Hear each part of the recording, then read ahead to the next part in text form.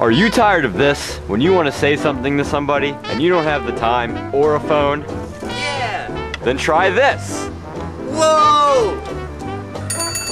That's for me! Now you can go anywhere and do anything with your new phone. I just jumped!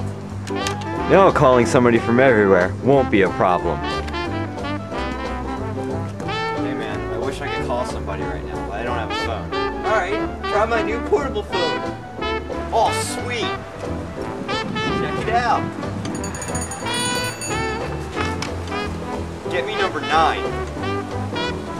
Hey, come meet me somewhere.